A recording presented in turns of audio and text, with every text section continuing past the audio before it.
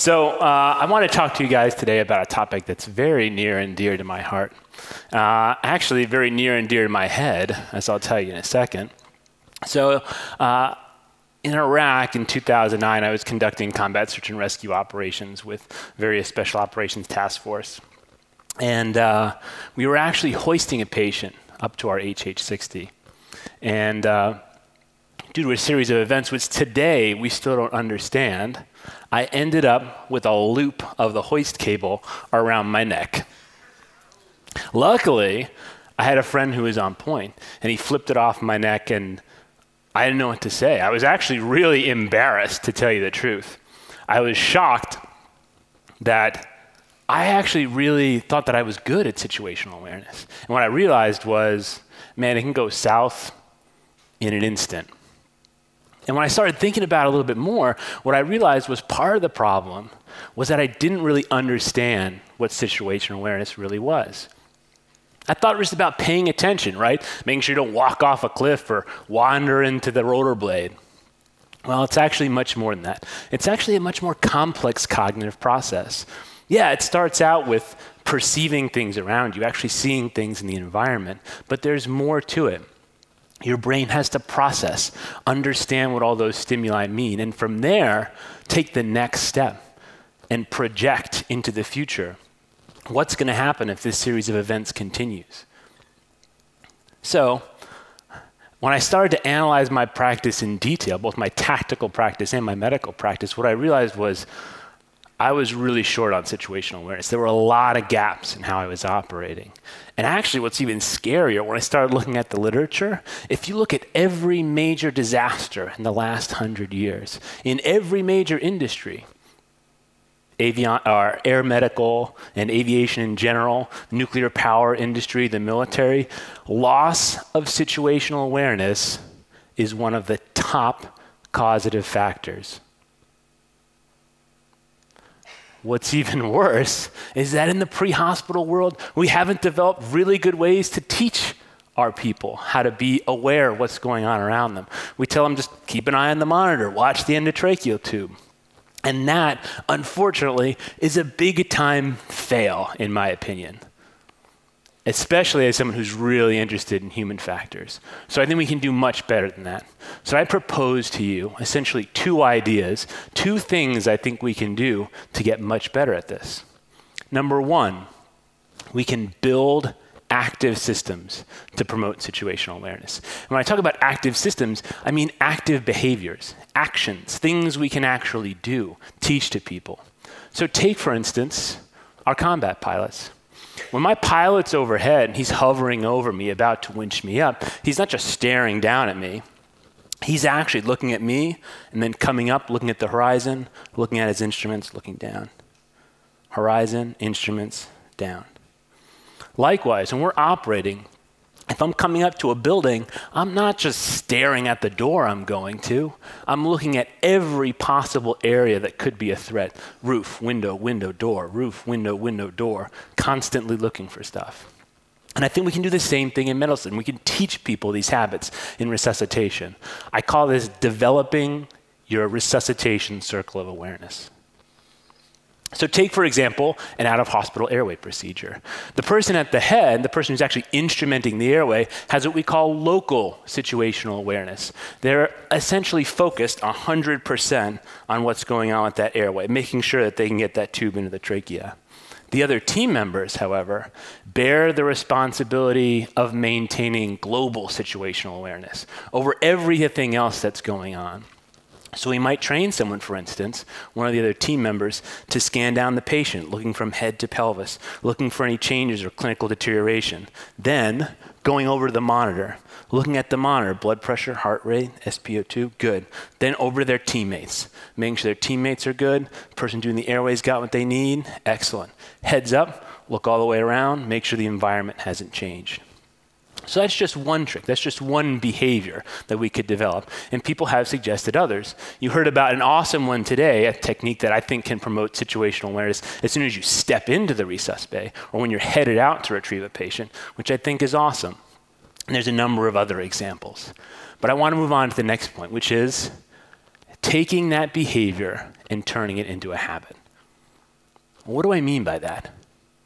Habits are really powerful things.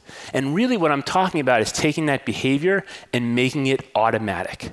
Think about all the habits you do on a daily basis.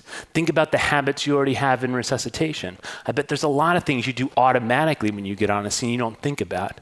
And that's key, because as several other people have talked about, when we're under stress, that cognitive bandwidth shrinks. So we need automatic ingrained procedures that draw very little off that cognitive bandwidth.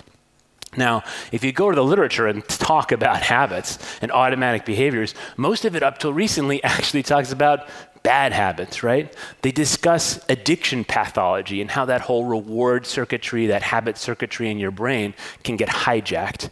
But there's way more to it. And if we learn from our colleagues in the psychology industry, especially regarding software, applications, games, the ever addictive Twitter, which I've seen a lot of people have been on all day, they have developed ways to develop consumer habits very effectively, I might add. So I'm going to give you the quick down and dirty recipe how to develop the habit. You have to start out with a cue. You have to start out with a behavior, an environmental stimulus, something that acts as a trigger, that kicks off the habit. So in this case, going back to that pre-hospital RSI scenario, if my partner is doing the airway and I'm there pushing the medications, I'll go ahead and give the induction agent, give the relaxant, flush, make sure it's in, and then start my scan. Next, you need a specific action sequence. So, as it turns out, if we give someone something very vague to do, like, hey, just look around or keep an eye on the patient, that motor pattern isn't imprinted on the brain very well at all. You quickly forget it. But if you give someone a specific task, look at X and then Y and then Z, that can be ingrained very well. The last piece is a variable reward. And this sort of is already kind of, you know, programmed into what we do, right? I mean, unless you're a sociopath, you are invested in actually good outcome for your patient. And usually, most people in a completely non randomized controlled trial demonstrated that they'd rather not die. So, as it turns out, we're invested in it. It's very rewarding when we find things that could prevent or avert uh, possible catastrophe. So, it's those three things. That is the holy trinity of the habit. Now, a lot of people ask, well, how much do you have to do it? Well, the last piece is a lot of repetition. A lot. We're not exactly sure how much. It's somewhere between 20 and 220 or more. So there's a lot of disagreement. But what I can tell you is it needs to happen quite a bit and should be incorporated into daily practice. So, what I want you guys to leave here with is two important things. One, we shouldn't be just telling people to be aware, we should help them develop behaviors that can promote situation awareness. And two, we need to turn those systems into habits and incorporate them into everything we do to protect ourselves and help our patients. Thank you guys very much.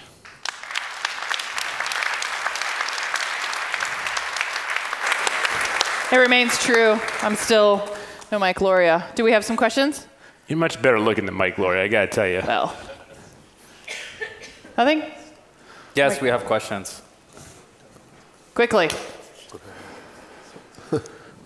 no pressure. Oh, they're slacking on the job, these guys. Uh, all right, let's see. There's so much, though. People are really entertained. You know, you gotta sift through it. Uh, what other cognitive tools are available to help maintain situ- situational awareness? And then I'll just piggyback on this. How can we leverage our current use of simulation training to develop good situational awareness habits? Okay. Um, so there's a couple other tools out there. Uh, Cliff mentioned one. He talked about it with you guys this morning, uh, the zero point survey. There's another one. I had the privilege when I was down in, uh, in Australia working with those guys at Sydney HEMS uh, two years ago that we were talking about situational awareness. And one of their uh, brilliant paramedics, Marty Pierce, came up with a, a similar type scan for uh, in moving into looking at problems uh, with intubated patients or dynamic situations with intubated patients, like moving them in and out of the helicopter. And I believe the acronym he came up with is OBSERVE. So observe the monitor, look at the monitor, look at the subject or the patient, uh, then look at the endotracheal tube. I can spell respiratory equipment, so scan the uh, ventilator down, going down the tubing, and there's an E and some other letters in there. But go ahead. I would, I would encourage you to go ahead to the Sydney HEMS website and, uh, and actually look. Uh, it's, a, a couple really great videos, and that's an awesome tool. How do we develop that? That's an excellent question. So there's some sneaky sort of psychological tricks we can do. Um, you can actually manipulate scenarios when you guys are training people to, to get these systems to work to enhance that reward. So, th- and that relies on essentially traditional operant conditioning. So let's say, for example, we were doing that RSI scenario. If you notice the person's not looking around or not maintaining awareness, you can throw little things into the scenario that'll screw them up. Uh, on the flip side of that, if the person is watching what's going on and you throw things into the scenario, you can tweak the intrinsic and, external, and extrinsic stressors and what's going on in the scenario to make things easier. We all know that that's kind of synthetic. That's not how the real world works, but it enhances that reward pathway because they think they do really good in the scenario because they found out what's going on. So it's a sneaky little trick, but it enhances that pathway and it ingrains that habit a little bit better.